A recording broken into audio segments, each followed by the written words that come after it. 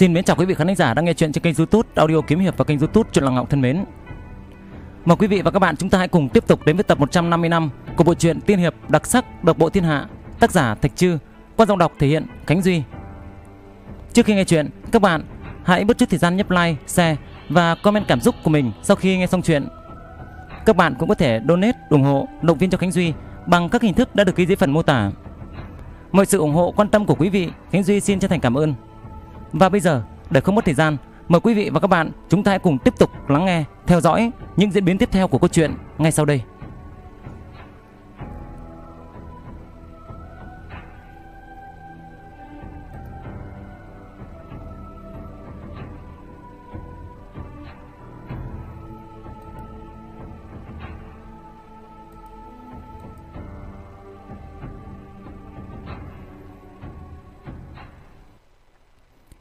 Tiếp theo phần trước, lại nói lúc bấy giờ, Tinh Đế và Ma Hoàng một trái, một phải, đứng cách Diệp Húc không xa, vây hắn lại ở giữa.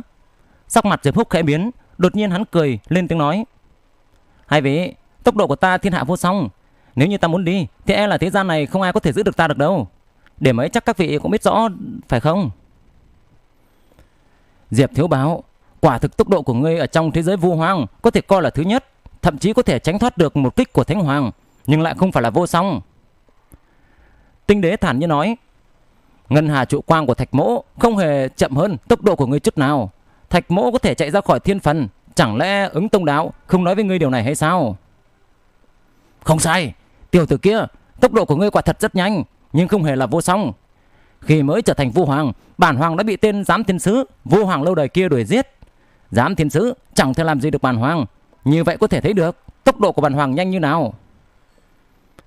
Ma Hoàng cũng nhàn nhạt, nhạt nói Nếu ngươi cũng mọc ra một ngàn cái chân Lại cộng thêm ấn pháp kỳ lạ Thì bản Hoàng không thể đuổi theo ngươi được. Nhưng tiếc là ngươi không phải là hoàng tộc Ma La. Diệp Húc dùng mình Hắn biết tốc độ của tinh đế và ma hoàng Quả thực cực kỳ nhanh. Vừa rồi hắn gấp lửa bỏ tay người Dẫn bàn tay thiên quang của thánh hoàng Nhắm vào tinh đế và ma hoàng. Nhưng hai người này lại không bị nó bắt lấy Hiển nhiên tốc độ của bọn họ không hề chậm hơn Diệp Húc chút nào. Cùng tốc độ lại thêm tu vi và thực lực của Diệp Húc thâm hậu, có thể thấy Diệp Húc tuyệt đối không thể trốn thoát khỏi sự truy sát của hai người này. Tình đế kìa, bản hoàng thừa nhận ngươi có năng lực tiêu diệt được phân thân này của bản hoàng, nhưng bản hoàng cũng có thể đánh cho tu vi thực lực của ngươi giảm xuống. Ma hoàng khẽ mỉm cười rồi hạ giọng, thay vì lưỡng bại câu thương, chi bằng chúng ta đọ sức trên người tên tiểu tử này. Nếu hắn chết trong tay ngươi thì bản hoàng nhận thua, nếu chết ở trong tay bản hoàng, bản hoàng cũng như không muốn gì cả, chỉ sợ tâm cảnh của ngươi tự động tan rã. Cả cuộc đời này cũng không có hy vọng trở thành vua hoàng. Tinh đế yên lặng gật đầu. Y bị Diệp Húc liên tục phá vỡ tâm cảnh, Tu vi thiên địa động, ta bất động, Thiên địa diệt, ta bất diệt hai lần. Nếu như lần này Diệp Húc chết trong tay ma hoàng, Thì chính là lần thứ ba tâm cảnh bị phá. Quá tam ba bận, Chỉ sợ đời này, kiếp này, Y không thể nào khiến cho tâm cảnh mình viên mãn được nữa. Tâm cảnh bị phá, Thì bảo vệ tu vi ngày trước là vô vọng Càng đừng nói tới vấn đỉnh vua hoàng. Diệp Húc cả giận nói, Hai vị này, Hai người đánh cuộc trên người ta như thế, Chẳng lẽ nghĩ Diệp Mỗ tu vi, thực lực Đều không bằng các ngươi, Để mà các ngươi làm thì thế sao? Không sai. Ma Hoàng gật đầu, tùy tiện thừa nhận. Tinh đế nghiêng đầu, ngẫm nghĩ một chút rồi cũng nghiêm túc đáp, Đúng là như vậy. Diệp Húc hận đến ngứa răng, Đột nhiên hắn lại cười nói, Các người quá coi thường ta rồi ta có thể trốn thoát khỏi Chu Thiên Tinh Đấu đại trận và Ngân Hà Trụ Quang đại trận, chủ yếu là nhờ vào vô hoàng lực. Sau lưng ta còn có một vị cường giả cấp vô hoàng. Hai người các ngươi tuy lợi hại, nhưng tinh đế ngươi còn chưa trở thành vô hoàng, mà ma hoàng ngươi chưa là cấm pháp phân thân. Cả hai người các ngươi đều không chịu nổi một kích trước mặt vị cường giả chống lưng cho ta kia đâu. Ma hoàng và tinh đế cả kinh lướt nhau một cái. Diệp Húc, Hạ Ly và Ngọc chân đại sư bị nhốt trong hai tòa đại trận, quả thật có dao động khủng bố như vô hoàng truyền đến. Kính xin lão tổ rời núi. Diệp Phúc thấy Ngọc Lâu hô lớn Ma Hoàng và Tinh Đế như gặp phải địch lớn. Sau một lúc lâu Chán Diệp Phúc toát mồ hôi lạnh Hắn giơ tay gõ gõ Ngọc Lâu do hỏi Lão tổ, lão tổ. Trong tầng thứ năm Ngọc Lâu của hắn kia Phách hạ lão tổ đã lâm vào trong ngủ say Hẳn là va chạm với bàn tay tinh quang của Thánh Hoàng kia Đã khiến cho nó bị thương đến căn nguyên Hoàn toàn không nghe thấy lời kêu gọi của hắn. Thời tiết hôm nay đẹp thật đấy. Ồ, nơi này là nơi nào vậy? Diệp Húc hết nhìn đông tới nhìn tây, cố ý tỏ ra tò mò nói. Nơi đây chính là Nam Cực Bộ Châu, một phần của thế giới vu hoàng, một nơi hoang vắng, ngay cả một con chim cũng không có. Tinh đế quan sát mọi nơi, trong mắt lộ ra ý cười, hạ giọng nói. Hàn băng nơi đây, trăm triệu năm không hề thay đổi. Nếu chôn người ở chỗ này, thi thể cũng sẽ trăm triệu năm không hề thay đổi. Đúng là một chỗ tuyệt hảo để mai táng. Hàng cổ ma vực ta không hề có nơi nào được như thế này. Nơi đây lạnh lẽo như thế, nếu như chôn người ở đây thì trăm triệu năm sau đào ra vẫn sẽ sống động như cũ. Ma Hoàng cũng tán thưởng. Ồ, quả là một nơi rất được á. Diệp Phúc gật đầu rồi xoay người lập tức đi, cười nói. Hai vị cứ từ từ tán gẫu, ta đi trước đây. Ma Hoàng và Tinh Đế chợt nhoáng lên, vẫn một trái một phải, kẹp hắn vào giữa như trước. Sắc mặt Diệp Phúc tối sầm lại, hắn thầm kêu khổ. Hiện giờ phách hạ lão tổ đã ngủ say, mà hắn thì không có thực lực chống lại được Tinh Đế và Ma Hoàng, tình hình thật nguy cấp. Cho dù là Tinh Đế hay Ma Hoàng, đều hận không thể giết hắn cho thoải mái, tuyệt đối không hề vô duyên vô cớ mà bỏ qua cho hắn. Giờ chỉ có một con đường để đi, đó chính là phóng thích ra phương trượng Tiên Sơn, dùng quy tắc trong Tiên Sơn áp chế quy tắc của thế giới vô hoang, khiến cho bọn họ không thể dùng đến tu vi rồi đánh chết hai người bọn họ. Sắt khí bốc lên trong lòng Diệp Húc, hắn nhìn xung quanh thầm nghĩ, nhưng tốc độ của hai tên này ngang với ta, phương trượng thiên Sơn bên trong dù có không gian rộng lớn bao la, thì nhưng bề ngoài lại quá nhỏ. Nếu không cẩn thận sẽ để chúng trốn thoát, chỉ bằng tìm kiếm một cơ hội vạn toàn rồi mới cho bọn chúng rơi vào trong Thiên Sơn. Đột nhiên, trời đất lặng ngắt như tờ, gió rét rít gào quanh năm, không ngừng ở Nam Cực Bộ Châu ngừng lại. Biển cả ngoài lục địa lặng lại, không động dù chỉ một tiếng sóng. Một luồng hơi thở vô hoàng như có như không, không biết lan ra từ đâu, chỉ thoáng chốc đã trải rộng ra toàn bộ thế giới vô hoang. Luồng hơi thở này hùng hậu như vực sâu, đường đường chính chính, bá đạo vô cùng, chấn áp vô hoàng. Hơi thở vô hoàng sao? Tinh đế kinh hãi, sắc mặt kịch biến, tâm cảnh gần như lại một lần nữa mất đi, y thất thanh. Ở trong thế giới vô hoàng này, rốt cuộc là ai trở thành vô hoàng vào lúc này đây? Chẳng lẽ là ứng ứng tông đạo sao? Y cùng ứng tông đạo, một người được công nhận là có tư chất đệ nhất. Ngân Hà trụ quang thể, người kia được công nhận có ngộ tính đệ nhất. Hai người từ khi xuất đạo tới nay đã chiến đấu liên tục không phân thắng bại, được công nhận là hai người mạnh nhất thế giới vô hoang này. Tinh đế vẫn luôn coi ứng tông đạo là đối thủ, kẻ địch của đời mình. Lúc này phát hiện có người sắp trở thành vô hoàng, tâm tình chấn động gần như không thể tự chủ được. Sắc mặt ma hoàng khẽ biến, xong lại lập tức khôi phục như cũ, gã lắc đầu nói: "Tuyệt đối không phải là ứng tông đạo, ứng tông đạo tuy có ngộ tính cực tốt, nhưng không thể hoàn toàn thông hiểu hết đạo lý trong kiểu đại cấm pháp của Hoàng Tuyển Ma Tông, rồi lại khai sáng ra cấm pháp của mình chỉ trong một năm được. Kẻ trở thành vô hoàng là một người hoàn toàn khác kìa." Ánh mắt Diệp Húc sáng lên, trầm giọng nói: "Là con nối dòng của Đế Khúc Thần Vương." Cùng lúc đó, Ma Hoàng và Tinh Đế cũng đồng thanh. Người kế vị của Đế Khốc Thần Vương. Kẻ này ẩn trong thế giới vu hoàng đã lâu, lúc này hắn trở thành vu hoàng, cuối cùng cũng phải lộ ra bộ mặt thật rồi. Gần như ở trong chớp mắt, các đại thánh địa trong thế giới vô hoang đều cảm nhận được hơi thở bá đạo của vô hoàng này. Hơi thở này chính do đại vu rốt cuộc trở thành vô hoàng, đạt được thiên địa thừa nhận, mênh mông vô cùng, có thể chấn áp tất cả. Hơi thở vô cùng bá đạo này tuyệt đối còn truyền tới các bế cảnh trong thế giới vô hoang, truyền đến cả Hàn Nguyệt cung, Thái Dương Thần cung, thậm chí cả Chu Thiên Tinh cung, khiến cho các thánh chủ ở trong Chu Thiên Tinh cung lúc này đều khiếp sợ không thôi. Ai nấy cũng rời khỏi tinh cung, phóng thích thần niệm, tra xét khắp nơi. Trong hoàng cung đại tần, một nhân vật cổ xưa cuối cùng cũng mở đôi mắt ra, ánh mắt xuyên thấu hư không u minh, chậm rãi nói: "Từ sau khi Triệu Chính hạng tịch, cuối cùng cũng có kẻ sắp trở thành vua hoàng sao? Xem ra cũng đã đến lúc bản hoàng phải động gân động cốt rồi."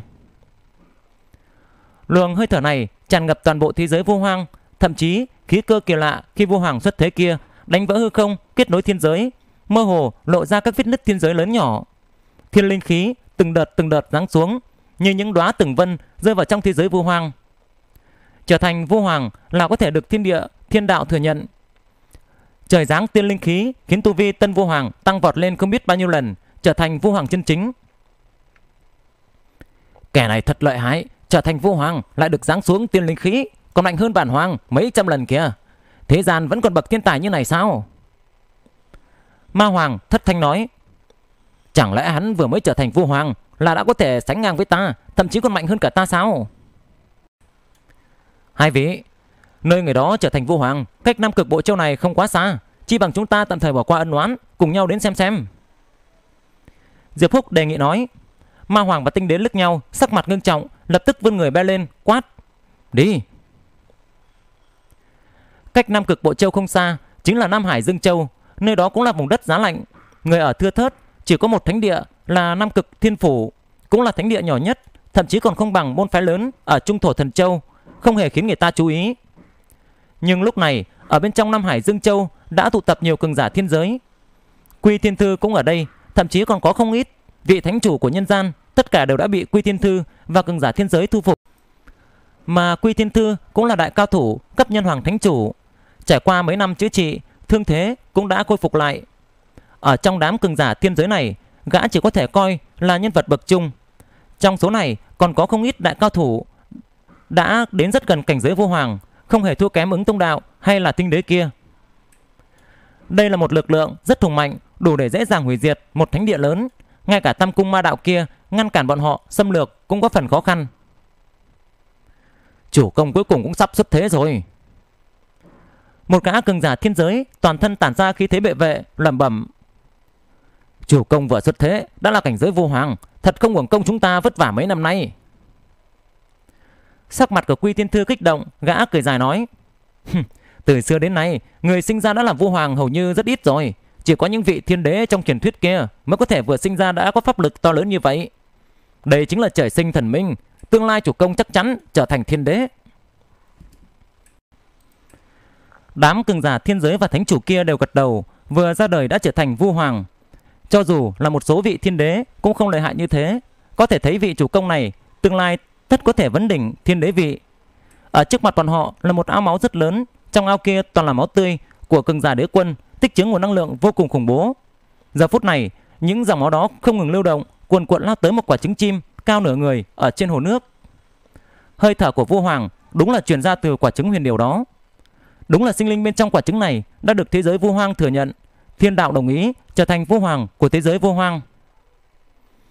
Thiên mệnh huyền điếu, hàng sinh triều thương. Diệp Phúc và Ma Hoàng, Tinh Đế nhanh chóng tới nơi, từ xa nhìn thấy quả trứng huyền điểu to đùng này, ai nấy cũng đều ngẩn ra. Xem ra chúng ta đều đoán sai rồi. Diệp Phúc lẩm bẩm nói, ta vốn tưởng Thang Hoàng chính là con trai của Đế Khốc Thần Vương, sinh ra từ trong quả trứng huyền điểu. Kẻ cái vị Đế Khốc Thần Vương kia đương nhiên là con nối dòng chân chính của ông ta, đương nhiên cũng là một quả trứng huyền điểu. Thiên mệnh huyền điểu giáng xuống sinh thương. Những lời này ai cũng từng nghe qua, cũng biết chính là Đế Khốc Thần Vương hóa thân thành huyền điểu kết hợp với một cô gái phạm trần sinh ra thăng hoàng, khai sáng ra hoàng triều đại thương, kéo dài 300 ngàn năm thịnh thế của đại thương kia. Nhưng rất ít người liên hệ những lời này với người kế vị đế khốc thần vương. Hầu hết hoặc nghĩ là người kế vị đế khốc thần vương là một vũng máu đế quân, hoặc là phụ thân làm người, xâm chiếm thân thể đại vua khác, hoặc chính là hậu thế của đế khốc thần vương ở thiên giới. Dù là Diệp Phúc cũng không nhảy ra khỏi vòng tròn tư duy này mà liên hệ với những lời kia. Đế khốc thần vương chính là con cháu của hiên viên thiên đế. Nghe nói hiên viên thiên đế có ba ngàn phi tử đến từ các thế giới với đủ chủng tộc. Sinh hạ con cái không phải ai cũng là nhân loại. Hơn phần nữa là đế khốc thần vương cũng chỉ có được huyết thống của thiên đế mà còn có được huyết thống của huyền điệu. Diệp Phúc thầm nghĩ, Hóa ra, đây mới là kẻ kế vị đế khốc thần vương, Đây mới là thủ đoạn vùng dậy khi ông ta cùng đương kim thiên đế tranh đoạt đế vị thất bại. Sắc mặt tinh đế âm trầm, thở dài nói, Vừa ra đời, đã là vô hoàng, Đây chính là tư chất của thiên đế, Thiên hạ ngày nay còn ai có thể tranh phong cùng hắn ta nữa đây? Ma hoàng kể lạnh một tiếng, Lắc lắc đầu, Tư chất của thiên đế ư? Lời đó sai rồi. Tư chất thiên đế của hắn kia, Chẳng qua chỉ là giả tượng Đi ra từ đống máu đế quân. Chứ tư chất thực tế Thì kém xa vị thanh đế đã sinh ra từ trong hồng mông khí. Cũng không bằng hạo thiên đại đế, Được sinh ra và nuôi dưỡng trong thế dương chân hóa Nếu người có nhiều máu đế quân như vậy, Thì đã sớm trở thành vua hoàng rồi. Diệp Phúc cũng gật đầu, rồi nói, Máu của đế quân chất chứa năng lượng cực kỳ khủng bố. Hạ Ly hấp thu một chút thôi, Đã tăng tu vi lên vô cùng, Gần cảnh giới vô hoàng. Nơi này có một hồ máu đế quân ấp trứng huyền điếu. Như thế cho dù là heo Cũng phải trở thành heo hoàng kìa. Lời này của hắn cũng không phải là khoa trương. Đế quân gần với thiên đế Huyết mạch cực kỳ tinh thuần và hùng hậu Có thể cải thiện tư chất con người vô hạn Cung cấp tu vi khó có thể tưởng tượng được. Một con heo mà hấp thu máu đế quân thì cũng sẽ có tư chất không cách nào tưởng tượng được, trí tuệ thông thái, trở thành vô hoàng cũng không phải là nói đùa. Hai vị nói rất đúng. Tinh đế gật đầu, trầm giọng nói. Như vậy, chứng huyền điều kia vẫn bị đế khốc thần vương phong ấn mà chưa hề ấp kìa. Khi con đường thông thiên mở ra, con cháu cấp dưới trung thành của ông ta mang nó vào thế giới vô hoang. Lấy máu mà đế khốc thần vương để lại để ấp trứng.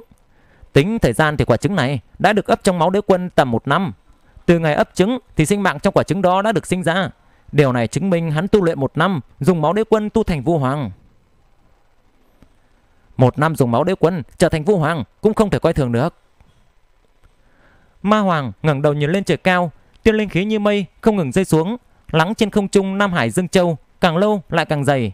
Gã trầm giọng nói: Người này trở thành vua hoàng, được thế giới vua hoàng thừa nhận, thiên đạo tán thành. Số tiên linh khí hạ xuống còn nhiều hơn bản hoàng mấy trăm lần. Điều này chứng tỏ tư chất của hắn dù không bằng thiên đế hồi còn nhỏ, thì nhưng cũng không khác là bao. Thành tựu sau này sẽ là kinh người, là ứng cử viên cạnh tranh chức ghế thiên đế, đồng thời cũng là kẻ địch lớn nhất của ngươi.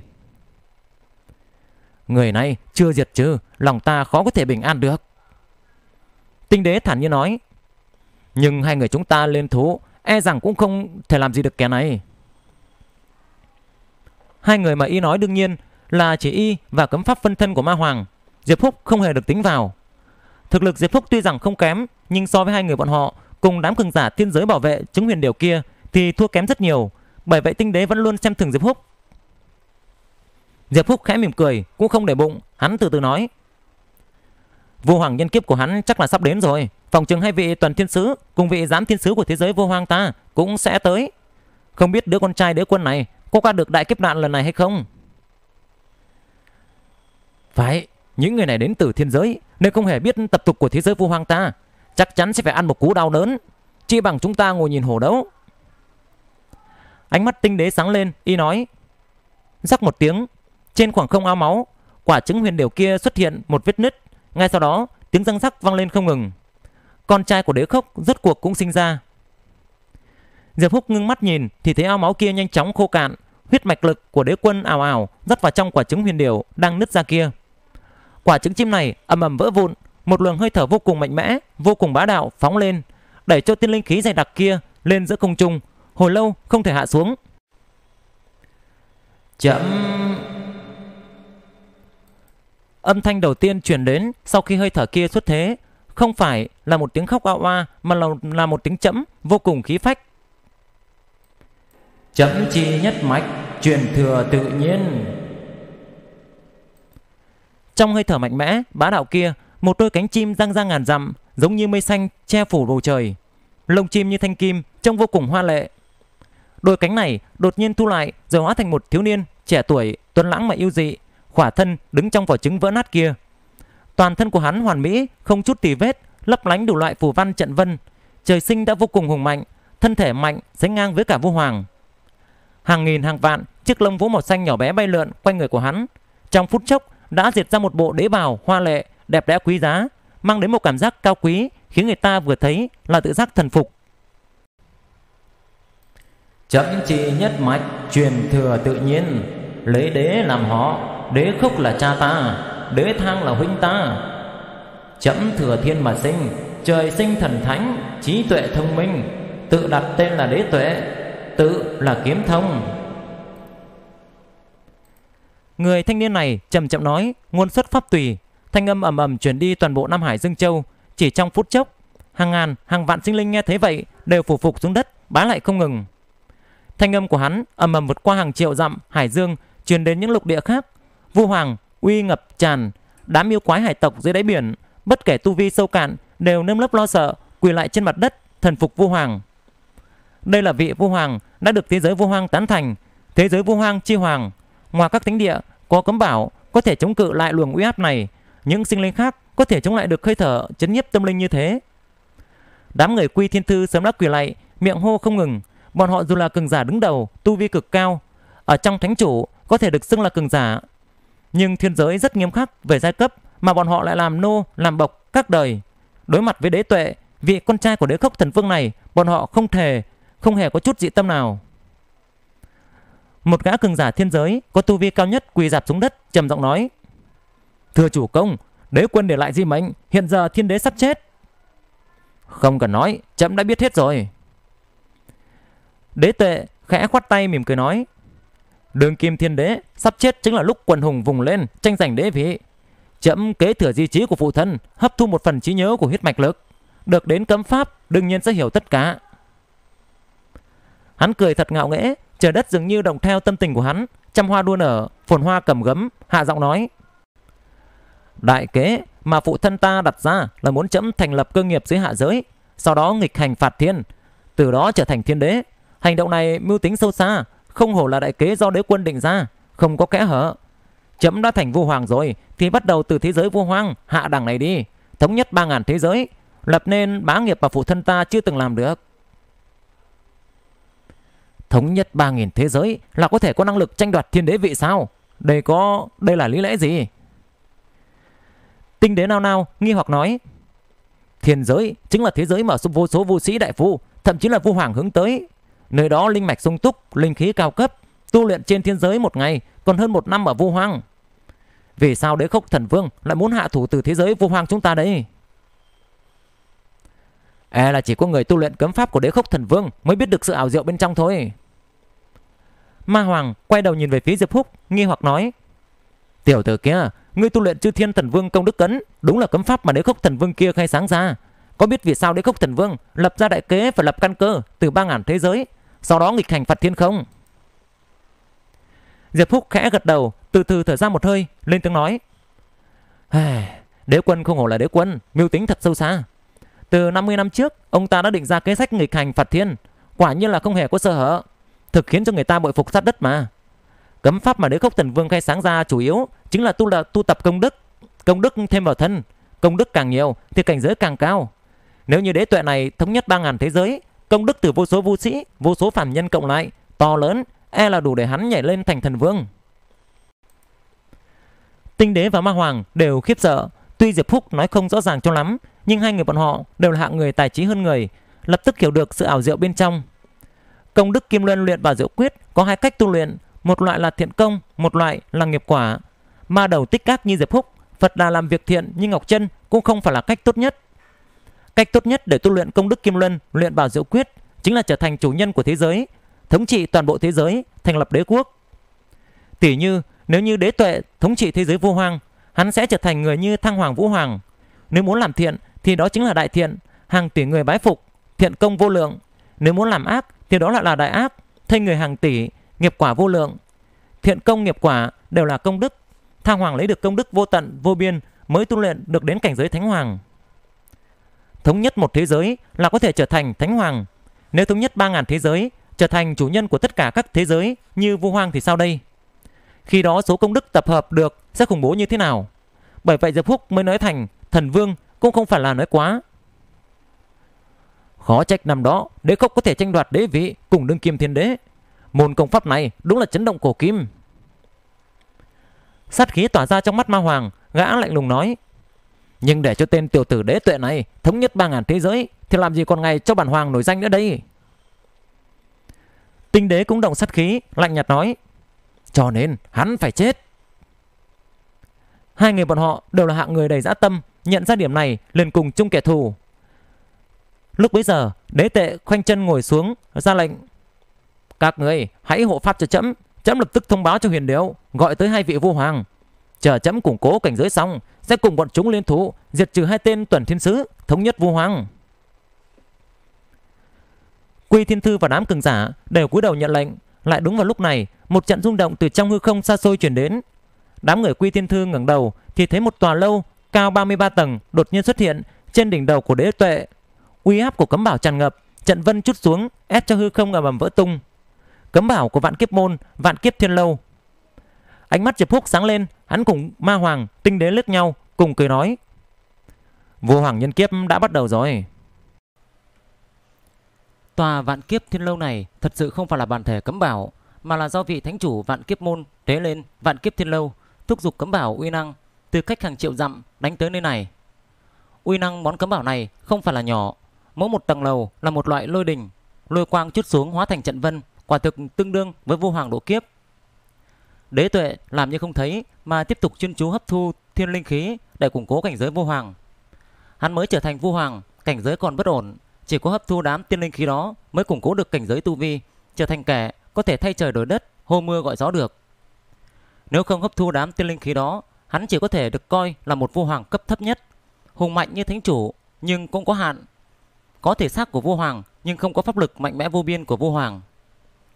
Vô hoàng được thiên đạo tán thành sẽ có tiên linh khí đánh xuống từ thiên giới, chỉ có tiên linh khí mới có thể nhanh chóng điền đầy tu vi, chống không khi trở thành vua hoàng kia. Nếu không dùng linh khí khác đến thêm vào tu vi, e là phải mất cả trăm năm mới tu được tu vi của vua hoàng. Chỉ là đám thánh chủ của cái thế giới hạ đẳng mà cũng dám khiêu khích chủ công. Đúng là không biết chữ chết viết như thế nào mà. Một gã cường giả thiên giới có cấp bậc thánh chủ đột nhiên đứng dậy, tiến lên cấm bảo bán thành phẩm mà gã tự luyện chế ra, đánh tới vạn kiếp thiên lâu. Thân hình gã rung lên dữ dội, gã hét lên một tiếng, lảo đảo lui ra sau, nhưng cũng thành công đánh nát được trận vân của vạn kiếp thiên lâu. Quỳ thiên thư, tịch thiên tình, hai người các ngươi lập tức men theo dấu vết cấm bảo đã để lại, tìm cho ra thánh địa nào dám to gan làm loạn, rồi giết thánh chủ bọn chúng, thay chủ công lập uy. Gã cường giả thiên giới có tu vi cao nhất lạnh lùng nói: Hiện giờ chủ công đã trở thành vua hoàng, thế giới vô hoang này đã không còn ai là đối thủ của chủ công nữa, chúng ta cũng không cần phải che giấu như trước nữa rồi. Giết, giết cho ta, khiến cho đám man di vô hoang này biết cái gì mới là chính thống. Quy Thiên Thư và một vị cường giả thiên giới khác lĩnh mệnh, sát khí tỏa ra, cười ha ha nói: Đám man di của thế giới hạ đẳng luôn tự đánh giá mình quá cao, tự xưng thánh chủ, ngạo mạn khinh người.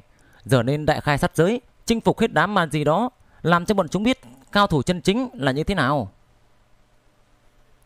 Hai người này đang định đi tìm rồi đánh chết môn chủ vạn kiếp môn, đột nhiên lại có một món cấm bảo hoành không bay tới. Lần này đánh tới không phải là vạn kiếp thiên lâu mà là một món cấm bảo kỳ lạ trông như kim linh. Mới vừa đến trên cung trung Nam Hải Dương Châu liền hóa thành một chiếc chuông lớn, co một tiếng vang lên khiến cho thân thể một ít cường giả thiên giới cấp bậc nhân hoàng sơ kỳ, nhân hoàng trung kỳ nổ tung ầm ầm, máu thịt văng tung tóe. Về phần những yêu ma thiên giới có tu vi hơi thấp thì chết vô cùng thê thảm, thậm chí cả đại lục Nam Hải Dương Châu đều biến mất một mảng lớn, chỉ trong chớp mắt bị chấn cho hóa thành hỗn độn hư vô. Đám màn gì đó đúng là được đằng chân lên đằng đầu, chết cũng không hết tối Tên cường giả thiên giới có tu vi sánh ngang với tinh đế, ứng tông đạo kia giận tím mặt, đánh nát trận vân của chiếc chuông lớn kia, giận dữ nói: "Xem ra, đám man gì này thật quá cuồng vọng, không ra tay thì chúng không biết thế nào là trời cao đất rộng." Đám cao thủ khác cũng giận tím mặt, tên nào tên đấy đều đang đằng sát khí. Sở dĩ lúc trước bọn họ co đầu rụt cổ ở trong Nam Hải Dương Châu này, chủ yếu là để bảo vệ đế tuệ, cũng là lo lắng bị đám thánh địa ở thế giới vô hoang này cá chết lưới rách. Mà hiện giờ đế tuệ đã xuất thế, lại trở thành vua hoàng, khiến cho sự tự tin của bọn họ tăng lên vô số lần. Bọn họ đến từ thiên giới, ỷ vào thân phận cao quý cùng huyết thống hơn xa vu sĩ đại vu của thế giới vô hoang này, nên trong lòng vốn khinh thường các thánh chủ, thánh địa ở nơi đây. Lúc này ăn một cú đau như vậy, sao có thể nhịn được đây? Dù là đế tuệ khi nhìn thấy cảnh này cũng phải nhíu mày, trong lòng rất là không vui. Chỉ là hiện giờ hắn cần thời gian để hấp thu tiên linh khí, củng cố cảnh giới. Hơn nữa, đám cường giả dưới trướng hắn có thể ứng phó được nên mới không phát tác. Giết, chỉ cần thánh địa nào dám to gan động thủ thì giết sạch, tàn sát tất cả, chó gà cũng không tha. Đúng vậy, nên cho đám man di mọi dợ của cái thế giới hạ đẳng này một bài học đau đớn, khó có thể quên được. Đám người quy thiên thư đột nhiên im bặt, trời đất bỗng trở nên tối lại, một cảm giác làm cho người ta hít thở không thông phát ra. Lục địa Nam Dương, Hải Châu lặng ngắt như tờ. Bọn họ gian nan ngẩng đầu lên, chỉ thấy hư không yên lặng, vỡ nát, một gốc cây hoa quế chen ra khỏi hư không. Ngay sau đó, lại có một gốc phủ tang thần thụ, một tòa lô bồng, một quyển lạc thư. Liền sau đó lại càng thêm nhiều cấm bảo trào ra khỏi hư không. Nào là lầu tháp, cung điện, thuyền, phường, bia, núi, viên châu, đỉnh, lò, sách, tranh, bàn, cầm, tiêu, cầu trụ, đủ mọi thể loại. Thậm chí còn có thân thể vua hoàng bị luyện chế thành cấm bảo. Tất cả đều được cao thủ cấp thánh chủ thôi phát, đồng loạt xuất hiện ở trên không trung Nam Hải Dương Châu. Bùm! Một gã cường giả thiên giới sợ quá, đổ ngửa ra sau ngất đi, thậm chí có mấy người sợ tới mức đứng đơ ra đấy. Trời sụp rồi, trời sụp rồi. Một cao thủ thiên giới lầm bẩm với sắc mặt vô cùng tái nhợt. Trời, quả đúng là sụp xuống thật. Nhiều cấm bảo được các cao thủ thánh chủ thúc giục như vậy, với uy năng mênh mông, hư không căn bản không thể chứa đựng được sức mạnh khổng lồ như vậy sụp xuống. Trời cao cứ mất đi như thế, cũng thật trùng hợp. Tinh đế mời tham dự đại hội tinh cung, nơi đây tụ tập hơn 2.000 vị thánh chủ, hơn 2.000 thánh chủ cùng tế lên hơn 2.000 món cấm bảo, đồng loạt ra tay đánh tới Nam Hải Dương Châu. Cảnh tượng này thật đồ sộ. Lúc này, đế tuệ cũng ngừng đầu lên, nhìn thấy trận vân do hơn 2.000 món cấm bảo hình thành kia, không khỏi thất thần. Cảnh tượng hoành tráng như thế, dù là ở thiên giới cũng không hề gặp được. Dù đế tuệ tự thấy mình rất cao, tự nhận mình có tư chất của thiên đế, nhưng đối mặt với thế công khổng lồ thế này, sắc mặt y cũng phải tái nhợt hẳn đi. Đám quân đồng thiên giới vừa rồi còn hô hào phải đi cho đám man di thế giới vô hoang này biết một bài học nhớ đời, lúc này đã hoàn toàn không còn chú ý gì nữa. Bọn họ không thể ngờ rằng thế giới vô hoang dù chỉ là một thế giới cấp thấp, nhưng nơi đây là nơi bắt đầu của mấy vị thiên đế trong lịch sử. Nguyên Thủy Thiên Vương, Hạo Thiên Đại Đế, Thanh Đế, Hiên Viên Thiên Đế đều đi ra từ nơi đây để lại truyền thừa của mình. Bên trong vô hoang, rất nhiều thánh địa có lịch sử sâu xa, từng xuất hiện ra vô số đại nhân vật, xưng hùng, xưng bá trên thiên giới, cũng đều tự cho mình mới là chính thống. Bên trong 3.000 thế giới của hạ giới, chỉ có thế giới vô hoang là có nội tình thâm hậu nhất, cấm bảo rất nhiều, chính là thế giới có thực lực mạnh nhất. Tuy đã hai ba vạn năm nơi này không hề xuất hiện một vị vua hoàng nào, nhưng nội tình vẫn còn, không thể coi thường. Nhiều cấm bảo như vậy chỉ tập trung công kích một mình đế tuệ, không có đánh tới nơi khác trên Nam Hải Dương Châu. Hơi thở cấm bảo nội liễm, tập trung nhưng lại càng tăng thêm sự khủng bố. Bảo vệ chủ công. Gã cao thủ thiên giới chỉ kém ứng tông đạo và tinh đế kia vội vàng hô to, rồi đột nhiên bay lên, tế lên cấm bảo bán thành phẩm mà mình cực khổ luyện chế ra, quên mình mà đánh tới đám cấm bảo kia. Oanh một tiếng, cấm bảo phân thân của hắn nổ tung, cả người lên, thân thể nguyên thần thiên địa pháp tướng, chân linh bất diệt và nhân hoàng cấm bảo phân thân đều hóa thành khói bụi, tan thành mây khói. Lại thêm nhiều cường giả thiên giới bay lên, quần công đám cấm bảo kia. Từng người rồi từng người tan xương nát thịt, nhưng lại chẳng thể ngăn cản được tốc độ đánh xuống của đám cấm bảo đó. Hơn 2.000 vị thánh chủ này thân ở Chu Thiên Tinh Cung, toàn lực tiến lên cấm bảo, đánh ra một kích, tập trung ở hư không nơi đây. Chúng đã mạnh tới mức không gì, không ai có thể chống lại được. Hơn 2.000 món cấm bảo cùng áp xuống, khiến tiên linh khí tản ra mọi nơi, chỉ thẳng đế tuệ. Trên trán đế tuệ toát ra một hôi lạnh rậm rạp. Nếu y đã hấp thu hết tiên linh khí, tu vi thực lực sẽ tương đương với cự đầu đã thành vua hoàng mấy trăm năm. Nhưng lúc này y mới trở thành vua hoàng, có cảnh giới vua hoàng, thân thể vua hoàng, nhưng lại không có pháp lực của vua hoàng. Chắc chắn không thể bình yên mà tiếp được một kích mạnh đến như thế này. Thiên mệnh huyền điếu giáng xuống. Một con huyền điểu to lớn không gì sánh nổi đột nhiên đánh vỡ hư không, xuất hiện ở giữa đế tuệ và công kích của đám cấm bảo kia. Con huyền điểu này đúng là sinh linh được ngưng tụ ra từ ý chí bất diệt của đại thương. Tu vi của nó có thể sánh với vua hoàng, hiển nhiên là được đế tuệ gọi nên lập tức chạy tới. Nó vừa xuất hiện thì bị uy năng của hơn 2.000 món cấm bảo đánh trúng, âm ầm một tiếng nổ tung, trực tiếp bị hơn 2.000 món cấm bảo kia nghiền nát. Nó chính là ý chí bất tử, bất tử bất diệt, trừ khi có được pháp lực cực lớn có thể diệt đi ý chí của một hoàng triều thì mới tiêu diệt được nó. Đám cấm bảo kia tuy mạnh nhưng vẫn chưa làm thương đến căn bản của nó được. Nhưng nó vừa ngưng tụ ra thân thể thì lập tức bị đánh vỡ. Cứ như thế, liên tục bị đánh vỡ hơn 10 lần. Uy năng của đám cấm bảo kia cuối cùng xuyên qua nó, giăng đến đỉnh đầu đế tuệ. Chuyện gì đã xảy ra thế này? Ý chí bất diệt của con chim ngốc này không hiểu rõ vì sao mình vừa xuất hiện thì lọt vào công kích khủng bố như thế, vẫn còn đang buồn bực. Thế giới vô hoang không hổ là thế giới có nội tình hùng hậu hơn cả hàng của ma vực ta. Năm đó bản hoàng vượt qua vô hoàng nhân kiếp, uy năng cũng không có kinh khủng như vậy. Ma hoàng nhìn chăm chăm đế tuệ có phần vui sướng khi kẻ khác gặp họa, gã nói: ngay cả huyền điếu có thể sánh với vô hoàng kia cũng bị đánh nát vài chục lần. Nếu có người có thể chống lại nhân kiếp đánh tới như vậy, thành tựu của hắn trong tương lai nhất định sẽ lớn đến kinh người. Ồ, tiểu tử này, sao sắc mặt ngươi có vẻ khó coi như thế? Sao vậy? Ma Hoàng khá tò mò đánh giá Diệp Phúc từ trên cao xuống, chỉ thấy sắc mặt Diệp Phúc có phần tái nhợt, miệng thì lẩm bẩm lẩm bẩm, không biết đang mắng ai. Bà nó chứ, lần này ăn thiệt lớn rồi, thiệt lớn rồi. Diệp Phúc nhìn thấy cảnh tượng khủng bố của vô hoàng nhân kiếp nên đã vô cùng khiếp sợ. Hắn đồng ý giúp ứng tông đạo ngăn cản hỗ trợ khi ứng tông đạo độ kiếp, lúc này mới biết mình thật lỗ mãng. Ta vốn tưởng tu thành nhân hoàng là có thể giúp được ứng sư huynh ngăn cản một phần, nhưng giờ xem ra, cho dù ta có tu luyện tới cảnh giới nhân hoàng, rơi vào đám công kích này thì cũng sẽ biến thành một đống thịt bùn mất thôi. hơn 2.000 món cấm bảo kia liên tục đánh giết thuyền điểu hơn 10 lần nên uy năng giảm xuống. Đế tuệ không khỏi nhẹ nhàng thở ra. Chính là cái đám dân bản địa đã đòi đánh giết chẫm sao? Không có khả năng. Y đột nhiên đánh ra mấy ngàn trưởng liên tục, mỗi một trưởng đều là một thức chư thiên thần vương công đức ấn, viên mã nào diệu, còn thành thạo hơn cả Diệp Húc không biết bao nhiêu lần. Mỗi một đạo ấn pháp đều chất chứa uy năng của vua hoàng, đánh nát trận vân của từng món cấm bảo một. Sắc mặt đế tuệ tái nhợt lại, y thoáng thở dốc thì đột nhiên thấy một tòa tinh cung xuất hiện áp chế xuống. Từng lúc đó, từng ngôi mộ cũng xuất hiện, bia mộ san sát vây quanh đế tuệ. Tinh đế và ứng tông đạo cuối cùng cũng đồng thời ra tay với đế tuệ.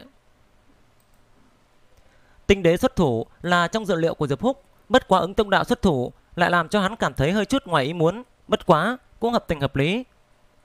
Ứng tông đạo mặc dù không như tinh đế có gia tâm thống trị thiên hạ gì đó, nhưng cũng biết nếu để cho đế tuệ củng cố vua hoàng cảnh giới, như vậy thế giới vua hoang sẽ rơi vào tay kẻ này, sở hữu tất cả thánh địa, luôn cả hoàng tuyển ma tông, tất cả đều phải gánh chịu đại kiếp nạn khổ sở. Từ đó về sau sẽ không có ai có thể trở thành vua hoàng. Mặc dù là hắn cũng không thể nào ở dưới cái bóng của đế tuệ tấn thăng vua hoàng được. Cho nên ứng tông đạo nhất định phải xuất thủ, hơn nữa vừa xuất thủ liền không lưu tình một chút nào. Hai người bọn họ đều là hạng người tài trí tuyệt hảo, lựa chọn thời cơ xuất thủ cực kỳ chuẩn xác. Chính là đế tuệ vừa mới tiếp oanh kích của hơn 2.000 kiện cấm bảo là lúc khí tức đang bất ổn. Bất kỳ người nào, cho dù là vua hoàng, cũng không có khả năng đối kháng với hơn 2.000 kiện cấm bảo đuổi giết mà không bị tổn thương mảy may. Đế tuệ chỉ vừa mới trở thành vua hoàng, còn chưa có được pháp lực khủng bố của vua hoàng. Vua hoàng nhân kiếp lần này đã đem hắn đánh cho bị thương. Đế tuệ cùng với những cường giả thiên giới đã chết kia căn bản sẽ không nghĩ tới thế giới vua hoàng lại vẫn có cái truyền thống vua hoàng nhân kiếp kỳ lạ này. Tại lúc người nào trở thành vua hoàng liền đem đối phương đuổi giết. Điểm này đừng nói là bọn hắn, mặc dù là đế khốc thần vương năm đó cũng không ngờ rằng bằng không hắn tuyệt đối không lựa chọn để cho đứa con nối dõi của mình xâm lấn thế giới vô hoang, mà lựa chọn những nơi khác trong ba ngàn thế giới tránh đi cái chỗ hung hiểm này cầu mong yên ổn. Dù sao cái truyền thống này hình thành trong thời gian ngắn ngủi chỉ có hai ba vạn năm thời gian là sau khi đại chu hoàng triều bị diệt vong các đại thánh địa lo lắng kẻ khác trở thành vua hoàng sẽ thống nhất thiên hạ chèn ép không gian sinh tồn của các đại thánh địa mới không hẹn mà gặp lại tại lúc kẻ khác thành tựu vua hoàng liền tiến lên cấm bảo đuổi giết mối uy hiếp tiềm ẩn đó. Mà ý chí bất tử huyền điểu của đại thương này cũng không có khả năng biết rõ điểm này, bởi vậy mới có thể khiến cho đế tuệ bị động như thế. Chu thiên tinh cung dẫn đầu hạ xuống, trong nội cung bay lên chu thiên tinh thần, lực áp đương thời. Đây là một món cấm bảo của chu thiên tinh cung. Luận phẩm chất không bằng hai tòa đại trận của chu thiên tinh cung kia. Nhưng hai tòa đại trận này đã bị diệp húc lấy di la thiên địa tháp cắn nuốt mất uy năng bên ngoài, làm tổn thương căn bản tới hai món cấm bảo. Lúc này đây chỉ chu thiên tinh cung có uy lực mạnh nhất. Hơn nữa, tinh đế lựa chọn cấm bảo chu thiên tinh cung này cũng được hắn mưu tính sâu xa. Với tu vi của hắn còn chưa đủ để đem uy lực hai tòa đại trận triệt để phát huy, nhiều nhất chỉ có thể phát huy ra tám chín phần. Mà uy lực của chủ chu thiên tinh cung có thể phát huy ra hoàn toàn. Giờ phút này, bên trong cấm bảo bộc phát ra uy năng không kém hơn một kích toàn lực của vua hoàng. Cải thiên hoán địa, một tòa cung điện chấn áp xuống làm phiến thổ địa dưới chân đế tuệ, triệt để nghiền nát. Phiến thổ địa dưới chân đế tuệ được hắn bảo vệ, thậm chí ngay cả lúc 2000 cấm bảo đồng thời đánh giết xuống đều chưa từng bị phá hủy nửa phần. Nhưng khi chu thiên tinh cung hạ xuống, liền làm cho hắn rốt cuộc không cách nào bảo vệ, nổi phần đất đai bị mất ở dưới chân. Chậm chính là vua hoàng, phụng thiên thừa vấn, chỉ là một con kiến hèn mọn chưa trở thành vua hoàng, còn muốn giết chậm sao? Si tâm vọng tưởng mắt đế tuệ cùng cặp lông mày dài chớp động, lộ ra vẻ vô cùng yêu dị. Đột nhiên sau lưng ầm một tiếng, một đôi cánh màu xanh mở ra. Cánh nối liền trời, làm cho khí thế của hắn vừa tăng vọt lại bành trướng thêm. Hai cánh cơ hồ triệt để mở ra, cánh thanh kim vạch lên trên, nghênh tiếp chu thiên tinh cung. Lại vào lúc này, chỉ thấy chín tòa tiên phần của ứng tông đạo đột nhiên vỡ ra. Một cổ tiên trong mồ nhất tề đánh bàn tay lớn, ra ngay phía trên hai cánh của hắn. Chỉ nghe thấy từng đợt pang pang bạo liệt truyền đến, hai đôi cánh thanh kim bị một cỗ lực lượng cường hoành bá đạo ép phải rút trở về không ngừng thu nhỏ lại. Rất nhanh liền thu nhỏ lại đến cực hạn trở lại thể nội của đế tuệ. Đế tuệ vừa sợ vừa giận hắn tuy vừa xuất thế không bao lâu nhưng kế thừa một bộ phận trí nhớ của đế khốc thần vương. Ý thức chiến đấu rất mạnh không kém hơn những lão quái vật mấy ngàn năm. Không ngờ ở trước mặt đứng tông đạo cùng tinh đế là hai thánh chủ vậy mà bị khắc chế khắp nơi. Tu vi của hắn thâm hậu, tự nhiên có thể thấy được thực lực hai người ứng tông đạo cùng tinh đế phải vượt qua những thánh chủ vừa rồi không biết bao nhiêu lần. Khoảng cách tới cách cảnh giới vô hoàng không xa, thậm chí đã một chân bước vào cảnh giới vô hoàng, chỗ thiếu hụt chỉ là tích lũy mà thôi. Tu vi của hắn tuy rằng vượt xa hai người ứng tông đạo và tinh đế, nhưng bất hạnh là trong tay không có cấm bảo. Huyền điếu, chiều ca cổ thành đâu? Đế tuệ gầm lên, chư thiên thần vương công đức cấn hướng lên không anh khứ. Chiều ca cổ thành chính là nơi táng thân tối hậu của một đời đại hoàng đế đại thương, có cả đế tân. Bên trong bảo vật vô cùng, chẳng những có thân thể đế tân cùng thăng hoàng là hai đại cự đầu, còn có xác bảo vật thông thiên tháp. Thậm chí còn có vài mảnh vỡ cấm bảo. Nếu như có thể chiếm được chiều ca của thành, thực lực của hắn tất nhiên tăng vọt, ngăn cản ứng tông đạo và tinh đế dễ dàng. Tinh cung hạ xuống, giáng lên đỉnh đầu của đế tuệ, trận vân tràn ngập hư không, bao phủ mấy vạn dặm, đảo loạn thời không, khiến huyền điệu không thể nào khôi phục hình thể. Tinh đế vẻ mặt hưng phấn, lần đầu cười ha hả, trường thanh mà nói: "Ứng huynh, trải qua thời gian dài, ta và ngươi từng ở trong thiên phần liên thủ qua một lần, nhưng giao thủ cũng không ít. Lần này có thể nói là lần thứ hai ta và ngươi liên thủ." Thạch huynh, sai lầm rồi. Thanh âm của ứng tông đạo truyền đến, thanh thanh liệt liệt, có một loại cảm giác phong khinh vân đạm, tâm trí xa xôi, nhẹ giọng cười nói: Ta và ngươi chỉ liên thủ qua một lần. Còn lần này, tuyệt đối không phải là ta cùng ngươi liên thủ. Cổ tiên đại phần bên trong thở ra cánh tay cổ tiên, Đột nhiên thu hồi, Lại chỉ thấy tiên phần vỡ ra, Hướng ra phía ngoài bay đi. Bên trong mỗi một tiên phần Thì có một cổ tiên nhảy ra, Há miệng khẽ hấp. Chỉ thấy từng đạo tiên linh khí như ngân long, Gào thét dũng mãnh, lao vào trong miệng của chín cổ tiên. Tên cận bã họ ứng kia. Tinh đế nghẹn họng chố mắt nhìn, Trong lòng liền giận dữ. Vừa rồi, tên khốn kiếp này sở dĩ ra tay, Làm như cùng ta liên thủ. Làm như vậy là để cho ta an tâm, Xuất toàn lực đối kháng với đế tuệ. Lần này lại đột nhiên thoát ra, Khiến ta chỉ có thể kiên trì chống đỡ đế tuệ. Hắn lại đến chiếm tiện nghi rồi. Giờ phút này, Hắn đã leo lên lưng cọp, Cũng khó thoát, Chỉ có thể cùng đế tuệ liều mạng, Khiến cho ứng tương đạo nhặt được tiện nghi, Chiếm được tiên linh khí Mà thiên giới đánh xuống Khi đế tuệ đột phá vô hoàng. Tên họ ứng cận bã Ta với người không xong đâu. Tinh đế trừ ẩm lên Kiên trì cùng đế tuệ liều mạng. Ma Hoàng một mực không có nhúng tay vào cuộc chiến. Gặp tình huống này không khỏi lắc đầu bật cười Hướng Diệp Phúc mà nói Tiểu tử, ngươi nhìn thấy không? Đây là những gì tên ứng tông đạo khốn kiếp này làm. Tên cặn bã này trước kia gây họa vu hoang thế giới Gây ra không biết bao nhiêu đại họa. Về sau trở thành tông chủ 200 năm chưa từng xuất thú. Vừa mới xuất thú Cũng vẫn đâm thầm ám hại lại nói, bổn hoàng cũng muốn cướp đoạt một ít tiên linh khí, Đột phá tu vi. Gã nói mấy câu, Không nghe thấy tiếng trả lời, Không khỏi hướng mắt quét tới chỗ Diệp Phúc đứng, Không khỏi ngần người. Chỉ thấy Diệp Phúc chẳng biết từ lúc nào Đã sớm rời khỏi nơi đây. Ma Hoàng hướng ánh mắt quét tới đằng xa, Chỉ thấy ở bên trong một ít tiên linh khí tán lạc. Tên họ Diệp kia đã tới lên Ngọc Lâu, Càn quét tiên linh khí. Cùng lúc đó, trong thể hội của hắn, Mấy chục thiên địa pháp tướng chen chúc nhau ra hướng tiên linh khí khác bay đi. Có kẻ tiến lên bảo tháp, có kẻ tiến lên kiến mộc thần trượng, còn có kẻ tiến lên nhiều, vô số, đủ loại nhân hoàng chi bảo, mở ra bảo hồn giới, vu bảo, điên cuồng càn quét tất cả tiên linh khí. Khí thế hung hăng so với ứng tông đạo không kém hơn chút nào. Hai tên cặn bã này không hổ là sư huynh đệ đồng môn. Ma Hoàng trong mắt toát ra lời giận hừng hực, chỉ sợ bị hai tên này càn quét sạch sẽ, lập tức phóng tới tiên linh khí chỗ khác. Đế tuệ đột phá cảnh giới vô hoàng, dẫn tiên linh khí xuống rất nhiều, nồng đậm vô pháp tưởng tượng, cơ hồ tương đương với mấy trăm năm tu vi của ma hoàng. Nếu như một lượng lớn tiên linh khí rơi vào tay ma hoàng, luyện hóa thành tu vi về sau, hắn liền có thể không cần cùng ứng tông đạo liên thủ, chính mình một mình liền có thể đối phó với gián tiên sứ, hàng cổ ma vực. Bất quá, ma hoàng bắt đầu so với Diệp Phúc và ứng tông đạo đều hơi chậm hơn một bước. Ngắn ngủi chốc lát, hai tên bại hoại này cũng đã quét hơn phân nửa tiên linh khí, Đợi hắn vơ vét một bộ phận tiên linh khí, Chỉ thấy tiên linh khí còn lại Đã bị hai tên cặn bã quét qua hết. Sư huynh, Làm người thì phải phúc hậu, Huynh cũng quá không phúc hậu rồi. Diệp Húc thân hình hơi lay động, Đem các đại thiên địa pháp tướng Và đủ loại vu bảo hết thảy thu hồi, Lòng đầy căm phẫn, Chỉ trích những gì ứng tông đạo đã làm, Vô cùng đau đớn mà nói. Huynh có thể nào khiến cho tinh đế một mình Đi mạo hiểm, liều mạng cùng đế tuệ bậc vô hoàng này ư? Những chuyện Huynh đã làm Thật khiến cho sư đệ khinh bỉ. Huỳnh thu tiên linh khí nhiều nhất mau lấy ra chúng chia đều đi. Người nhìn thấy đều có phần, chi bằng công bình công chính đi.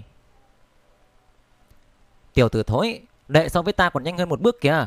Ai lấy được nhiều còn khó nói à. Tiên phần đột nhiên khép kín lại, một tôn cổ tiên trở lại bên trong mồ. Những tiên phần này, mỗi một tòa đều cực kỳ to lớn, trong đó không thiếu có những dãy núi cao ngất, long mạch cuốn lượn, tràn đầy khí tức viễn cổ. Ứng Tông Đạo quần áo trắng như tuyết xuất hiện giữa tiên phần, cười tủm tỉm mà nói: "Không bằng chúng ta đem tiên linh khí đoạt được hết thẻ lấy ra, để cùng một chỗ, sau đó chia đều, thế nào?" Bổn hoàng cảm thấy đề nghị này không tồi.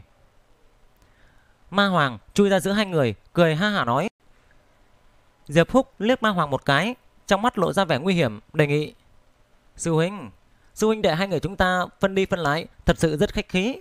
Ma Hoàng hẳn cũng thu được một phần tiên linh khí, không bằng đem cấm pháp phân thân kia của hắn thủ tiêu, chúng ta chia đều một thành kia, sao? Như thế nào?"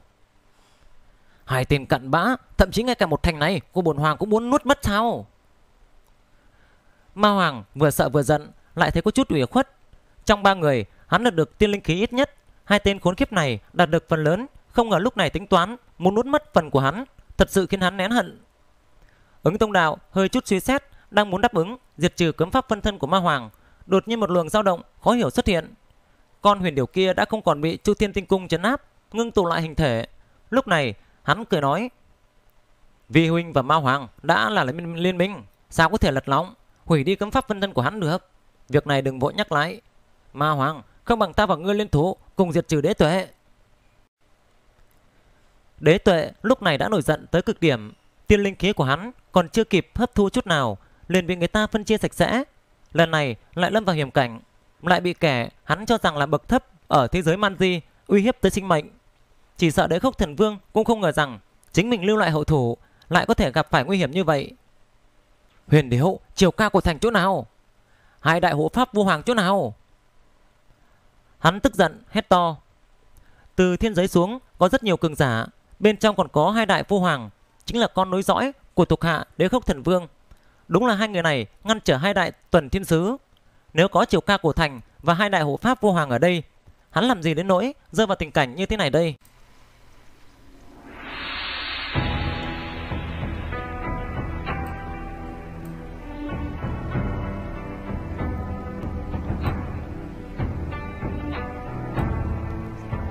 Kính thưa quý vị khán giả thân mến, tập truyện của ngày hôm nay của chúng ta tạm thời kết thúc tại đây. Khánh Duy chúc quý vị nghe chuyện vui vẻ. Xin chào và hẹn gặp lại quý vị ở tập tiếp theo của bộ truyện trong các video sắp tới. Xin chào và hẹn gặp lại.